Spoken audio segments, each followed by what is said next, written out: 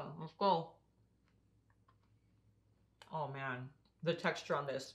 All right guys, so today we are turning in the traditional magic bars into magic cookies. Super simple, low carb and keto friendly cookie. I'm gonna show you how simple it is to make these. But before we get started, make sure you like, comment, and subscribe to the channel if you wanna see more videos just like this.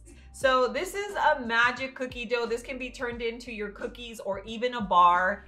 So we're gonna mix everything right into our bowl. We're gonna start off with our sweetener. You guys know I always use powdered sweetener because that's what I buy, but um, you can use whatever you have on hand, okay? So we have our powdered sweetener, then we have our vanilla. This is just vanilla flavor.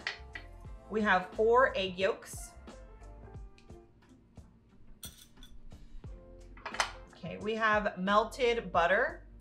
And I'm using some coconut butter. If you don't have coconut butter, you can just use more uh, butter.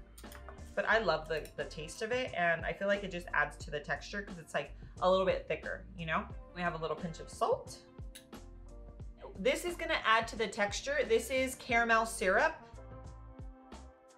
So we're just going to mix this together. So this is what is going to give our cookies that texture that you're looking for. We basically have all of our wet ingredients done. Okay, this is what it's gonna be looking like. And now we're just gonna toss in our unsweetened shredded coconut.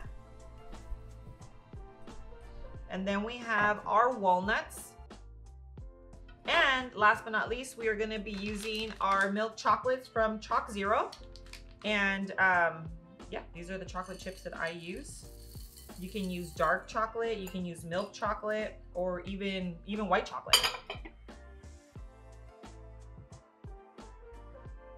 Okay, so now we have our baking sheet and we have some parchment paper that we're gonna place right over it. And I'm using a tablespoon to measure. So I would say it's like a heaping tablespoon of mixture.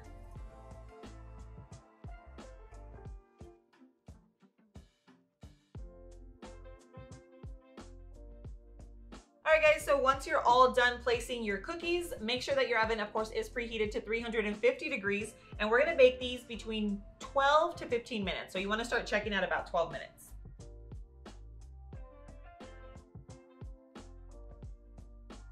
All right guys, so our cookies are out of the oven. We have some unsweetened oat milk and we are going to do the taste test. I used to love dunking cookies.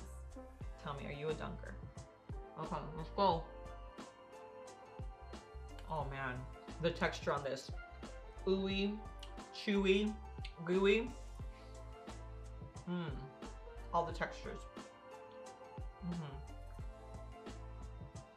These are delicious. You have to try them. Come back, comment down below. Let me know what you think because I love to hear your feedback. All right, guys, so I hope you really enjoyed this recipe. These cookies are absolutely amazing. I'm gonna leave the link to this recipe in the description below. That's gonna take you to lowcarblove.com where you're gonna find this recipe along with exclusive recipes that you're not gonna find anywhere else on the internet. Guys, I am posting on Tuesdays, Thursdays, and Sundays. Make sure you hit the notification bell so that you don't miss any of my videos. Guys, I hope you really enjoyed this recipe. I love you guys and I will see you on the next video. Mwah.